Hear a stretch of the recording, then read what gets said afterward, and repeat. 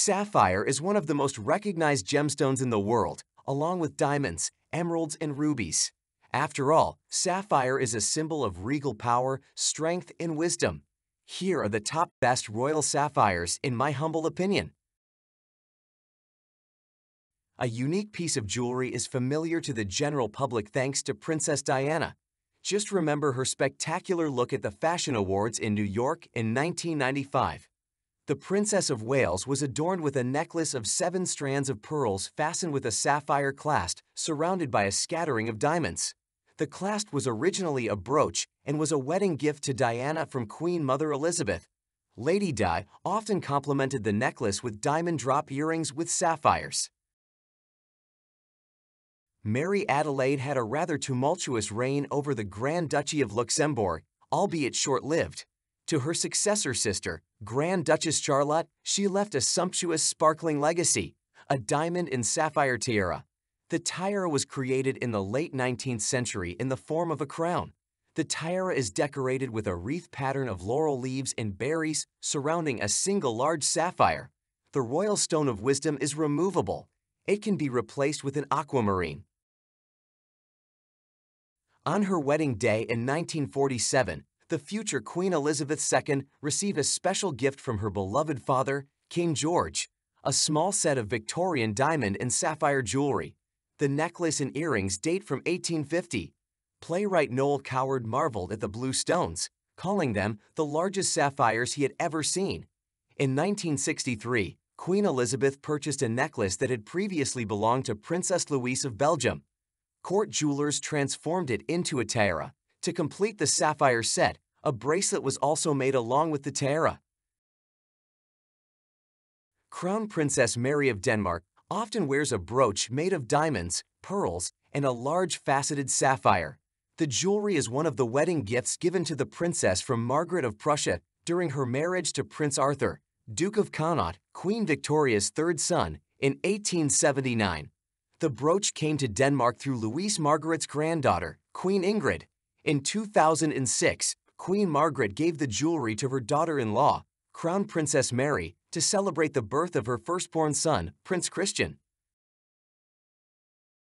One of the oldest sets of royal sapphires in Britain is the Cambridge Sapphire Parure. This set of jewelry belonged to the Duchess of Cambridge, daughter-in-law of King George III. Over time, the sapphire parure moved into the jewelry box of Queen Mary of Teck, in turn, she gave the sapphires to her daughter-in-law, Mary Duchess of Kent. The set originally included a tiara, necklace, corset jewelry, and a set of brooches. However, Queen Mary made some changes to the design of the jewelry, adding new jewelry elements. Where can we go without the jewelry of the Romanovs? Queen Elizabeth's II jewelry collection includes many pieces with Russian roots. However, the most intriguing is a brooch decorated with a large cabochon sapphire and square-cut diamonds.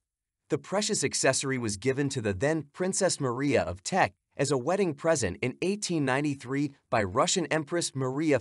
In 1953, the brooch was transferred to the jewelry box of Elizabeth II. Her Majesty used this jewelry accessory countless times. One of the most magnificent sapphire sets is the diamond and sapphire parure that belonged to Queen Maria Amalia of Naples, Queen of France. The set consists of a tiara, necklace, earrings, and three brooches. Some sources claim that Maria Amalia was not the first royal owner of the sapphire parure. She may have acquired it from Hortense Beauharnais, daughter of Empress Josephine. The sapphires remained in the family even after Louis Philippe I lost the throne. Mary Amelia de Bourbon's descendants later sold the sapphire parure to the Louvre. The magnificent sapphire tiara in which Queen Maxima shone at the inauguration of her husband Willem Alexander in 2013 has a long history. The family sapphire set is actually a matrimonial parure with different jewels set with noble blue stones.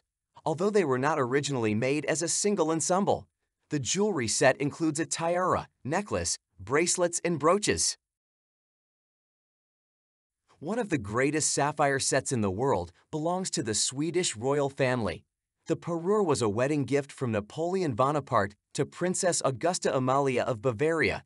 Duchess of Leuchtenberg, in 1806.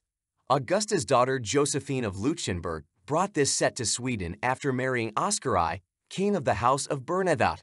The set includes a massive diamond and sapphire tiara, a necklace, a pair of earrings, a brooch, and a set of hair jewelry. That's all for today. I hope you enjoyed the video. Subscribe to the channel and stay in touch.